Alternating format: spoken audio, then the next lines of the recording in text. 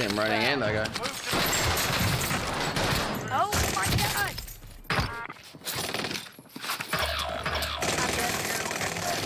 Oh my god.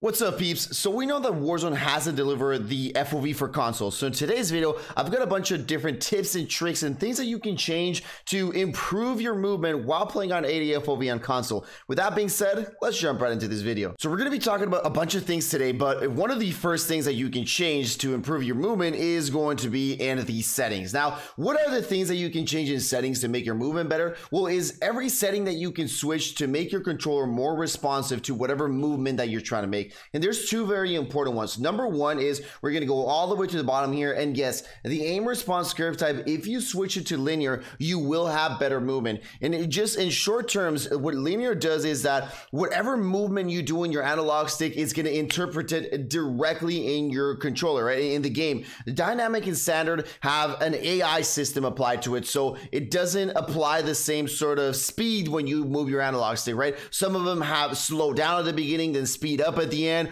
or in the middle, they're the same. But linear, whatever speed and whatever amount of force that you apply on your analog stick, it will do in your game. So that's why linear is the best one for this one. Now let's go into one of the most important ones, which I see a lot of people talking, and it's the dead zone. And I saw one of the guys saying, you know, the lower the dead zone, just lower it completely because you'll have better movement. Now, in general idea, yes, it is better, right? The lower dead zone you have, the better movement you'll have because the better input you'll have your controller. So if you guys don't know, the higher the dead zone, the more delay, like the more you have to move your analog stick for your for you to see that movement in the game. But that's not as easy as to just, you know, just lower your dead zone and put it like that. The best dead zone to have is actually the best one for your controller. But it's not just when your controller actually starts moving. So let's go ahead and do a little test here. And let's go ahead and uh, switch it to zero, zero, right? This is what you want to do as well. Switch it to zero, zero and move it all the way to 2020. Again, if you're playing on 2020, then I guess it's already there. But whatever sensitivity you're on, move it to 2020 and drop this to zero, zero. Now, as you guys can see there, what you want to do is you want to tap your controller a little bit.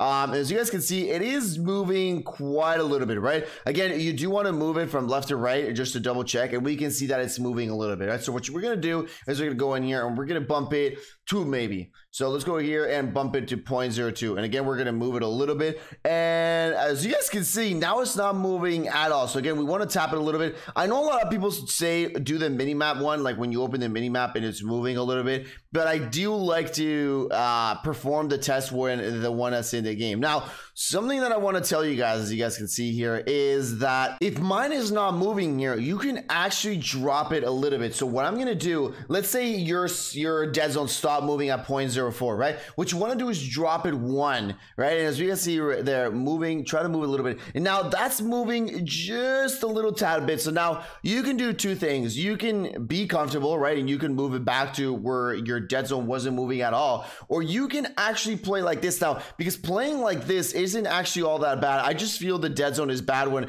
it's moving like crazy. But if you take a look at that and we move our controller left to right, it's not being that big of a difference, right? So this again just goes down to personal preference. And this is where a lot of people just, you know, they think that their dead zone does not have to move at all, but maybe you're the kind of person that can play with that slight little movement because again, you're to have that slight little movement on your aim, but this is to make your controller way more responsive than when the higher dead zone. So again, I'm going to try 0.02 just to, to test it out because you guys saw when I opened my settings, it was actually a 0.03 because I hadn't performed this test. So I'm going to do this one and then we're going to go ahead and drop this down to 8.8. Now that we've talked about the settings, another one that I want to tell you guys is one of the best tacticals or just equipments that you can use that will significantly, I mean, this, if you take anything from this video, this is hands down the thing that you need to change. So we're going to go to a class setup, we're going to go to tactical. And I know a lot of people are using heartbeat and stuns some people have started making the switch to stim but i'm just going to give you here a few examples. If you haven't used stim yet just give me give you a few examples on what this does. So here i'm just going to be doing a little running right up and down. As you guys can see this is just your regular running on 80 FOV with a little bit of slide cancel so we can uh, reset that tactical. And now we're going to try this with the stim.